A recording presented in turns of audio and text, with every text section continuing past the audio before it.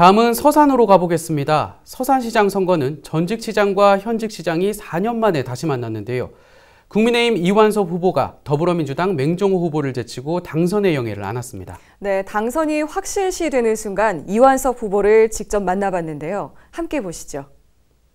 서산 시민 여러분들께 아, 정말 저를 여러 가지로 부족한데도 불구하고 선택해 주셔서 다시 막중한 서산시장이라고 소임을 맡겨주신 데 대해서 정말 진심으로 감사하다는 말씀을 드립니다. 그리고 함께 레이스를 펼쳐주신 또 맹정우 후보님께도 어, 격려와 또 위로의 말씀을 드리겠습니다. 앞으로 서산 시장이 되면 정말 서산 시민들의 뜻을 잘 받들어서 어, 전에 시장을 두 번 하면서 했던 그때보다 더 열심히 그리고 시민들과 더 함께 호흡하면서 이 서산시를 보다 더 역동적으로 발전시켜 나갈 수 있도록 노력하겠다는 다짐의 말씀을 드리겠습니다. 네, 사실 이번 서산시장 선거는 전현직 시장 간의 맞대결이었는데 시민들의 선택은 전직인 이 후보였습니다. 승리 요인은 뭐라고 생각하십니까? 네, 아무래도 이 해뜨는 서산의 어떤 그 역동성을 많이 바랬던 것 같습니다.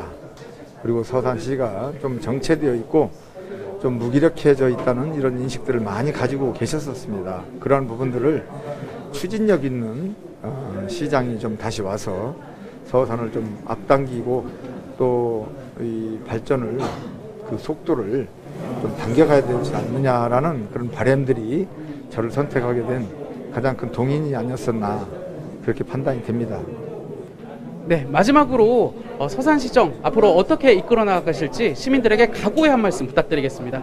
예, 항상 시민들과 함께 하겠습니다. 물론 뭐 어, 고독하고 외로운 결정을 해야 될 부분도 있겠지만 그런 것들은 항상 우리 시민들의 의견을 가장 어, 공약수를 찾아서 추진하고 어려울 때나 즐거울 때나 슬플 때나 모든 희노애락을 시민들과 늘 가족과 같은 개념으로 함께 한다라는 마음을 가지고 어, 정말 시민들이 언제나 시장을 쉽게 문턱이 없이 에, 부르면 달려가고 또 전화하면 바로 또 받고 뭐 이 소통의 어떤 이런 장들이 좀 더 예전보다는 어, 수월하게 할 수 있는 그런 시장이 될 수 있도록 친근하게 다가가는 가족 같은 그런 그 마음으로 시장을 펼쳐 나가겠습니다.